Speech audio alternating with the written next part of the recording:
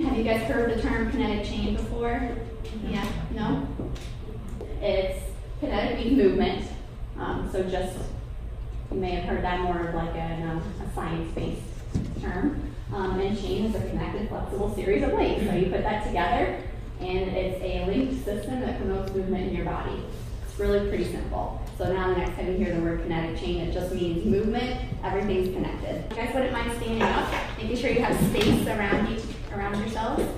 I want you to take your feet, imagine they're in ski boots, so they're pointing straight ahead. You want to go down the mountain straight, right? You don't want to end up making pizza, right? Toes pointing straight ahead, even pressure on both feet. Take your right hand out in front of you and turn to your right as far as you can with both eyes open. Mark the spot on the wall or door or wherever. Take a look at it and memorize that spot. Come back to the center. All right, take your left foot, and I'm to teach you another science word. We're going to supinate our left foot. So you may have heard the word pronate. A lot of people, shoe salesmen, use the word pronate sometimes. That means that your arches collapse and they fall in. We're going to do the opposite. So you're to take your left foot. Here, let me come out here so you guys can see. And take your left foot, and you're going to supinate. You're to turn it out slightly. All right, take your right hand, and do the exact same thing. See how far you can turn relative to where you could before. Is it less or more? Uh, less.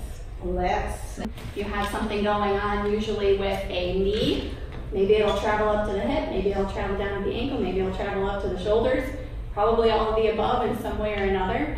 So oftentimes where you feel the pain or where you've had an injury, or maybe it's not even anything you notice, maybe you just have, maybe you just have, I don't know, tight quads or tight hamstrings or tight hip flexors or something.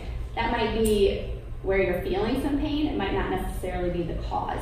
So I want to make sure that we're working on the root cause of the problem. Not, right? So my body's trying to figure out, okay, some of my weight's going back. I better put some of my weight forward because we need to make sure we're not going to fall forward or backward, right? And so naturally, when this happens, my shoulders will roll forward, just kind of following suit, right?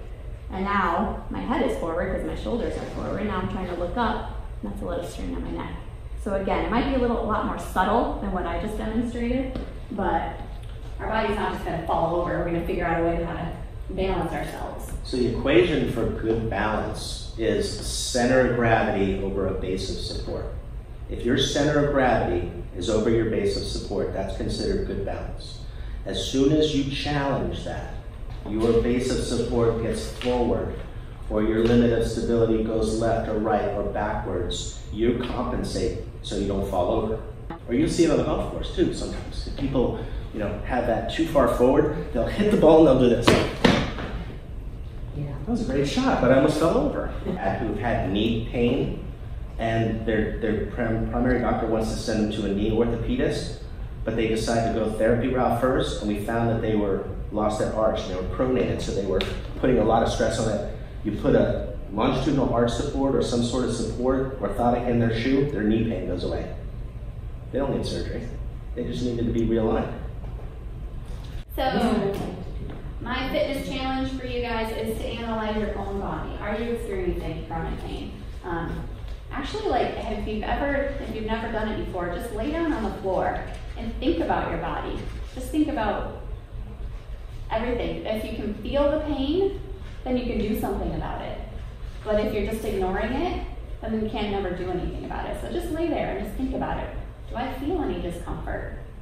And then we get to the why part. But first we have to recognize it. Um, I recognize it.